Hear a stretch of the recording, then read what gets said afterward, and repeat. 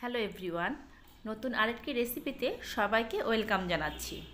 আমার আজকের রেসিপি বাবুর্চির হাতের স্পেশাল লাল শাক ভাজি। এই জন্য এখানে প্রথমেই দুই আটি লাল শাক কেটে খুব ভালো করে ধুয়ে নিয়েছি। আর আজকে যেহেতু বাবুর্চি রান্নাটা করবে, তাই তার হাতের এই রেসিপিটি আমি আপনাদের সাথে শেয়ার করব। উনি প্রথমে কড়াইতে দিয়ে দিয়েছেন সাদা তেল আর তেলের মধ্যে হাফ চা চামচ কালো জিরা দিয়ে উনি দুই কাপের মতো পেঁয়াজ কুচি দিয়ে দিয়েছেন। সাথে দিয়ে দিয়েছেন আট দশটা রসুন কুচি। পেঁয়াজটা একটু বেশি দিয়েছেন এবং পেঁয়াজের সাথে রসুনও দিতে হবে, দিয়ে এটাকে খুব ভালো করে ভেজে নিচ্ছেন, অনেকটা বেরেস্তার মতো করে ফেলেছেন। আমরা সাধারণত লাল শাকে এত পেঁয়াজ বা এত রসুন দিই না, কিন্তু যেটা যেহেতু এটা হোটেল স্টাইলে উনি করছেন, তাই দেখলাম যে পেঁয়াজের পরিমাণটা অনেকই বেশি। এবং বলল যে এই পেঁয়াজের কারণে নাকি এই শাক ভাজিটা সবচেয়ে বেশি খেতে ভালো লাগে। তাই পেঁয়াজটা আপনারা যতখানি দিবেন, তার হাফ দেবেন রসুন কুচি। দিয়ে এটাকে খুব ভালো করে একদম ব্রাউন করে আপনাদের ভেজে নিতে হবে। এই সময় কিন্তু উনি চুলার আঁচটাকে একদমই কমিয়ে দিয়েছেন।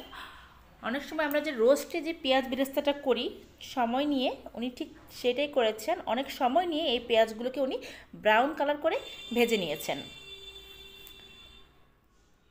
দেখুন। এবং এই হোটেলের শাক ভাজিটা যারা খেয়েছেন, তারা অবশ্যই বলতে পারবেন যে এই শাক ভাজিটা খেতে কতটা টেস্টি।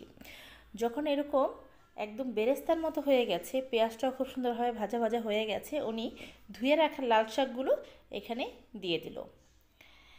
এখানে দুই আটির মতো লাল শাক ছিল, আর পেঁয়াজ কুচি দিয়েছে প্রায় দেড় কাপ, আর রসুন কুচি হচ্ছে হাফ কাপ। দিয়ে খুব ভালো করে শাকগুলো সবার পেঁয়াজের সাথে মিক্সড করে দিচ্ছে। দেখুন, সবগুলি শাকই কিন্তু উনি দিয়ে দিয়েছে।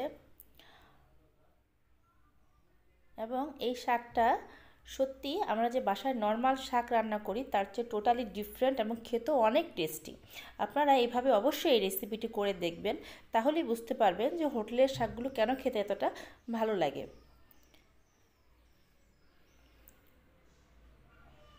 সবগুলো শাকই এভাবে দিয়ে দিয়েছে।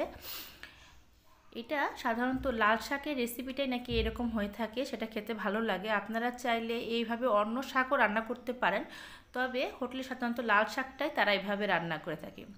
আমরা যেমন শাকটাকে খুব বেশি শুকিয়ে ফেলি, কিন্তু ওনারা একটু গ্রেভি রাখে, অর্থাৎ একটু ঝোল থাকবে, সেই শাকটাই নাকি গরম ভাতের সাথে খেতে বেশি ভালো লাগে। এবার শাকটাকে খুব ভালো করে মিক্সড করে দিচ্ছে।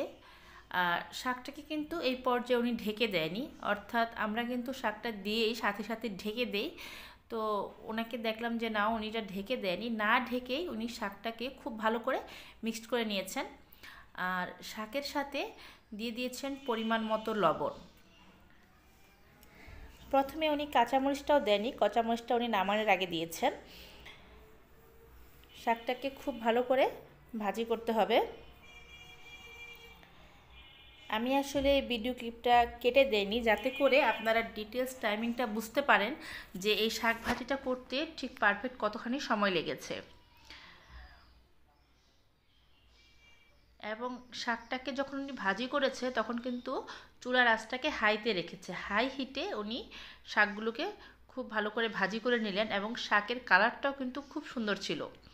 অনেক সময় শাক ভাজি করলে দেখবেন শাকের কালারটা কিন্তু নষ্ট হয়ে যায়, কিন্তু উনি যখন শাকটা ভাজি করলেন, আমি দেখলাম যে শাকের কালারটা একদম ইনটেক্ট ছিল, দেখতে খুবই সুন্দর ছিল।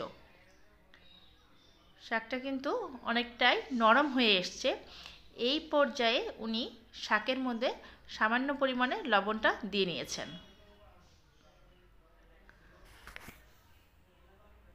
দেখুন, শাকটা কিন্তু অনেকটাই মজে এসছে। এখন উনি পরিমাণ মতো লবণ দিয়ে দিলেন। প্রায় হাফ চামচের মতো লবণ উনি এখানে অ্যাড করেছেন। আপনারা স্বাদ অনুযায়ী লবণটা অ্যাড করে দেবেন। আপনারা দেখতে পাচ্ছেন কিনা আমি জানি না, যে শাকের মধ্যে কিন্তু পেঁয়াজের পরিমাণ অনেক। নর্মালি আমরা যখন বাসায় শাক রান্না করি, এতগুলো পেঁয়াজ আমরা দিই না। প্রথমে আমি ভেবেছিলাম হয়তো খেতে ভালো লাগবে না, কারণ পেঁয়াজ এত দেওয়ার ফলে হয়তো শাকের টেস্ট থাকবে না। কিন্তু পরে দেখেছি খাবারের সময় যে এই শাকের মধ্যে এতগুলো পেঁয়াজ দেওয়ার কারণে কিন্তু শাকের টেস্টটা টোটালি চেঞ্জ হয়ে যায়। এখানে উনি হাফ চা চামচ হলুদ গুঁড়ো দিয়ে দিয়েছেন, যে শাকে কোনো উগ্র গন্ধ থাকবে না, এই জন্য একটু হলুদও উনি এখানে দিয়ে দিলেন। সামান্য পরিমাণে হলুদটা দেবেন, খুব বেশি দিতে যাবেন না। দেখুন, শাক থেকে কিন্তু পর্যাপ্ত পরিমাণে জল উঠেছে। এখানে কিন্তু ঝোল দেওয়ার কোনো প্রয়োজনই ছিল না। বাসায় নর্মালি শাক রান্না করতে গেলে আমি দেখেছি, আমরা কখনোই জল অ্যাড করি না। কিন্তু ওনাকে দেখলাম যে শাক একটু গ্রেভি রাখবে, সেজন্য একটু জল দিয়েছেন। শাকটা কিন্তু অনেকটাই সিদ্ধ হয়ে আসছে। এখন উনি এই শাকের মধ্যে প্রায় এক কাপের মতো জল দিয়ে দিলেন। জলটা দিয়ে তারপর শাকটাকে খুব ভালো করে আবার মিক্সড করে দেবেন। আপনারা চাইলে এই শাকে কিন্তু চিংড়ি মাছ ভেজেও তারপর দিতে পারেন, সেটাও খেতে খুব ভালো লাগে।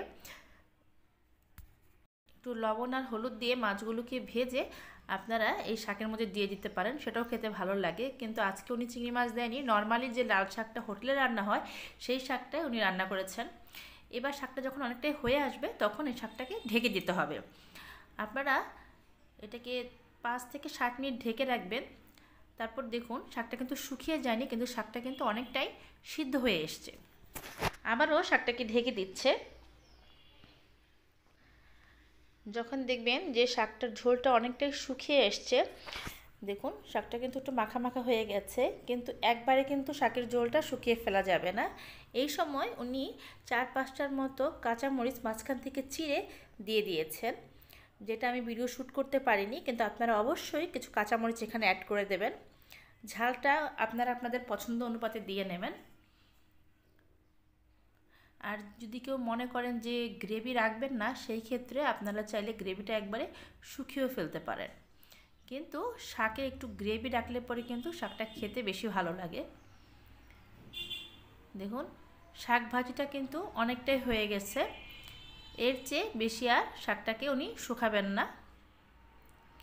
এখন আমরা একটা সার্ভিং বলে এই শাকটাকে ঢেলে নেব।